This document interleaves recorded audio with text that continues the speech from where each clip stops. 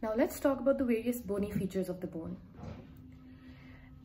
Beginning with the upper end. The upper end has a concave part, which is the head. It has a constricted part, the neck.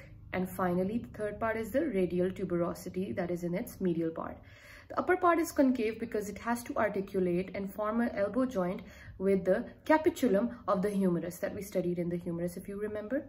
And secondly, the uh, circumference of the head also is articular as it has to form the radio, superior radio-ulnar joint and giving attachment to the annular ligament.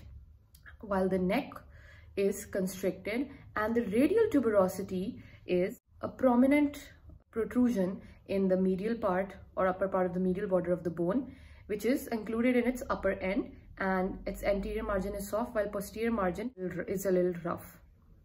Moving on, let's talk about the shaft. The shaft has three borders and three surfaces.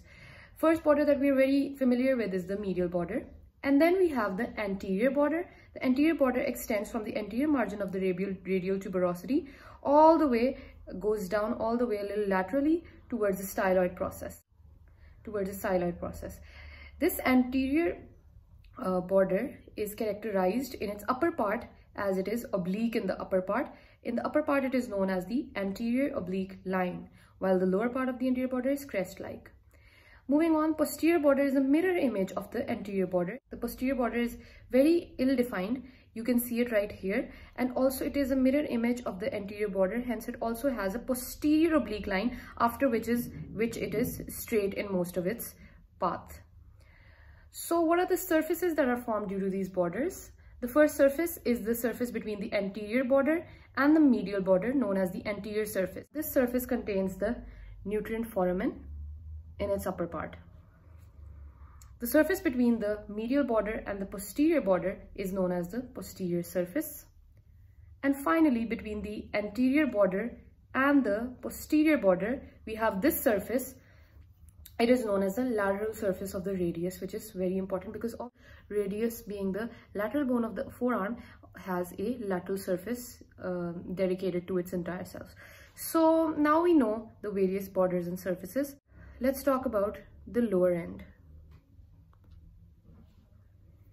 Now as you can see the lower end has an anterior part in the lower end is a little thick and prominent. This is because the radial artery passes in front of it. And normally when a person when you take pulse as a doctor uh, of patients you take it against pushing the artery against this prominent ridge. Secondly posteriorly there is there are there are grooves. These grooves are basically for the various extensor tendons. And just in the middle of these grooves is the dorsal tubercle of Lister. Moreover, the lateral part of this lower end is prolonged a little be be below the rest of the bone as you can see. This is the styloid process. It lies laterally. And finally, you can see that the, and just inferiorly you can see that this is a whole triangular area which has to articulate with the various uh, wrist bones. Medially in the lower end is the ulnar notch which is uh, for the articulation with the head of the ulna. So that's all about the bony features of the radius. Thank you for watching. In the next video, we will talk about the muscle attachments.